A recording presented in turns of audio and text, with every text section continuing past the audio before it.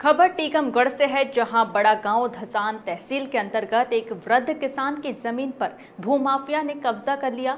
जानकारी के मुताबिक ग्राम पठला खेरा पंचायत बुडेरा में वृद्ध किसान परमलाल तने ने कलेक्टर सुभाष कुमार द्विवेदी और पुलिस अधीक्षक प्रशांत खरे को पुलिस थाने में लिखित शिकायत दर्ज करवाई, लेकिन पुलिस विभाग उनकी शिकायतों को अनदेखी करते नज़र आए।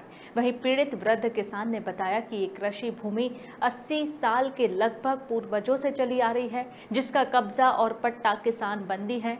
वहीं ये कृषि भूमि समस्त शासकीय अभिलेखों में दर्ज भी है। इस कृषि भूमि पर प्रमुख भूमाफिया ने कब्जा कर लिया है।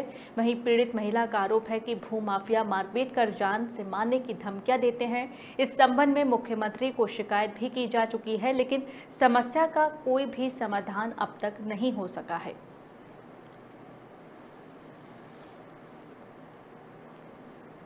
ये हमने सीमांकन हमने अपनी अपनी जानते हुए तीन बार करवा लिया सीमांकन। 2012 हम्म। में 2017 में 2021 में। हम्म।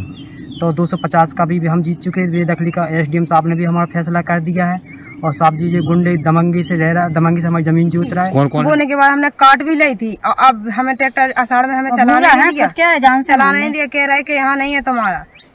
तुम जांचा जाकर हमारे मौका दो यहाँ नहीं है तुम्हारी यहाँ हो वहीं से ले लो। ज़मीन के श्रीमान जी का हमें इस ज़मीन पे कौन कब्जा किए? तीन बार चाह भाई न पाँच चौके अब छोड़ नहीं रहे इस पे नाम बताओ। बंड बुनकर करें बंड बुनकर गणेशी बुनकर और राजू बुनकर रमजू बुनकर पलटू बुनकर